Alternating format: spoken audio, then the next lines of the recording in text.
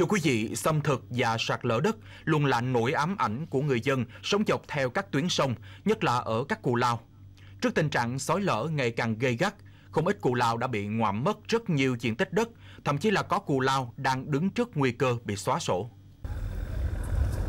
Theo thời gian, nhiều phần đất của người dân ở Cù Lao Xuân Quà 2, xã Thanh Vĩnh Đông, huyện Châu Thành giờ chỉ còn trên giấy, còn thực tế nó đã bị sạt lở xuống lòng sông từ nhiều năm trước. Những ngôi nhà từng là mái ấm của người dân giờ cũng bị khai tử vì sạt lở.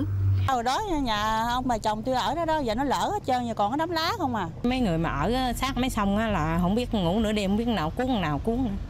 Người ta đâu có khả năng đâu ta mua đất bên đất liền thì người ta dán ta chịu cái ta là đất đá gì đó ta tấn đỡ đó mình cũng sợ ngủ phập phòng tới mồ Xã Thanh Vĩnh Đông có hai cù lao thuộc ấp Xuân Quà 2 và ấp Vĩnh Diễn với 76 hộ dân. Nhưng do cù lao nằm dọc theo sông Tra, tuyến sông quyết mạch về các tỉnh miền Tây nên lượng tàu bè lưu thông qua khu vực này rất nhiều. Ngoài ra, tốc độ dòng chảy cũng thay đổi, gây ra hiện tượng xói lở đất ngày càng nghiêm trọng, khoét sâu và ngoạm hơn 50% diện tích đất cù lao. Trước những rủi ro luôn chực chờ, nhiều người có điều kiện đã bỏ cù lao để thoát thân, còn người nghèo cận nghèo có nhà trong vùng nguy cơ sạt lở cao cũng đã được chính quyền địa phương hỗ trợ di dời đến nơi an toàn. Tại đây, giờ chỉ còn lại 44 hộ dân sinh sống trong điều kiện vô cùng khó khăn. Người dân muốn qua đất liền đi làm thuê, con em học hành đều phải cậy nhờ đò đưa. Còn vào khoảng tháng 8 âm lịch đến tháng chạp, những ngày triều cường lên cao là cả cù lao bị nhấn chìm trong biển nước.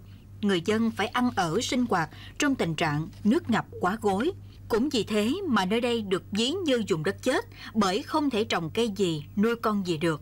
Đặc biệt vào mùa mưa bão, người dân Cù Lao nhiều lần phải sơ tán để đảm bảo an toàn tính mạng và tài sản.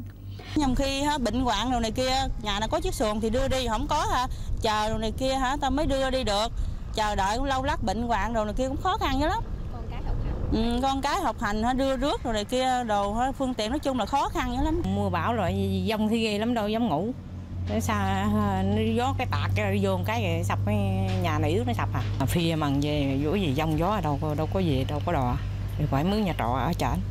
Xe cộ thì gửi bệnh tháng sáu bảy chục ngàn về phía xã sẽ kiến nghị cùng với huyện sẽ kiến nghị với các cơ quan cấp trên để ờ, có cái phương án để làm sao tổ chức di dời các hộ dân còn lại đảm bảo về cái tính mạng tài sản của dân đặc biệt là trong các cái mùa mưa bão và lũ trong thời gian vừa tới. Cũng ước mong cho lắm ước mong ha chính quyền đồ này kia các nhà hảo tâm đồ này kia có ai nào giúp đỡ rồi kia vậy đó tôi thấy tôi vui vậy lắm đứa gặp rồi con cháu đi cực khổ vậy lắm Tình trạng xâm thực và xối lở đất diễn biến ngày càng phức tạp, nguy cơ nước sông sẽ nuốt chửng các cù lao là rất có thể xảy ra.